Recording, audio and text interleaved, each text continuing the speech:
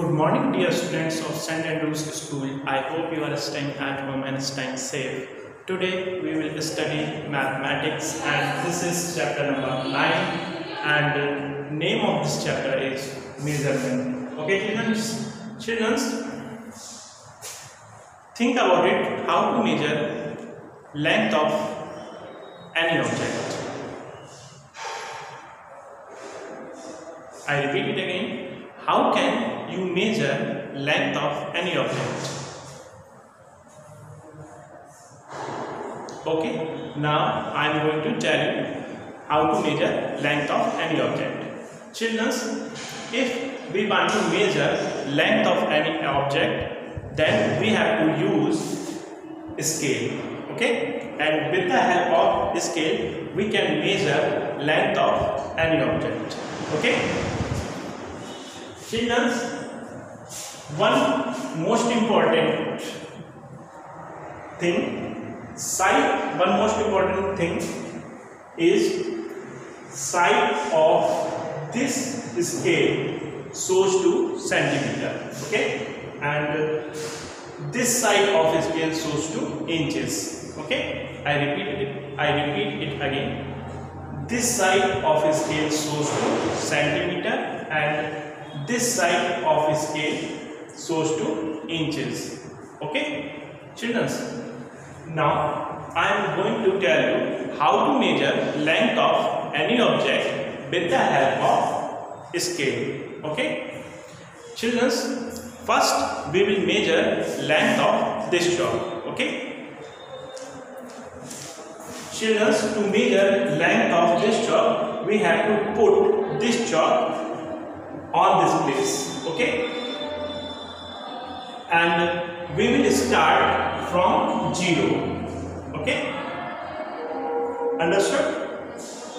We will start to measure this chalk from 0 and uh, we can see length of this chalk is 1 centimeter okay? 0 and 1 1 centimeter okay? Got it so children, that's way we can measure length of any object. Okay. Now I am going to measure length of a book.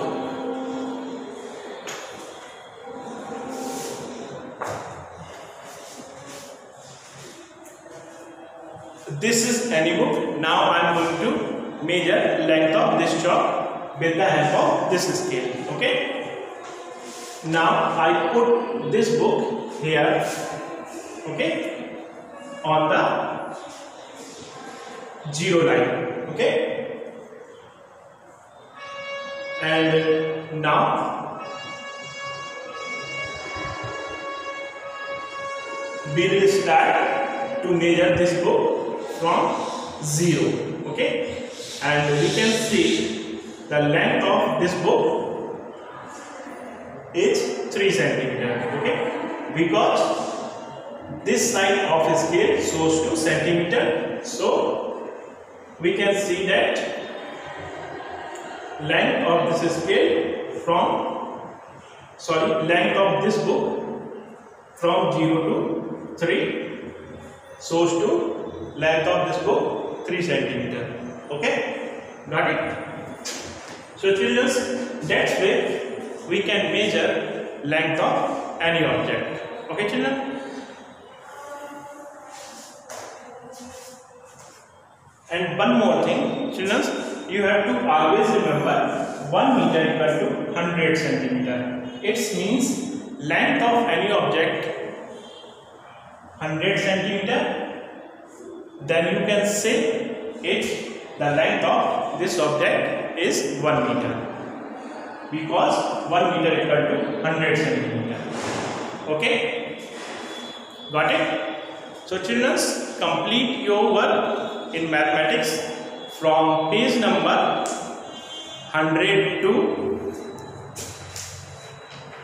to 104 okay? Okay children i repeat it again. You have to complete your work from page number 100 to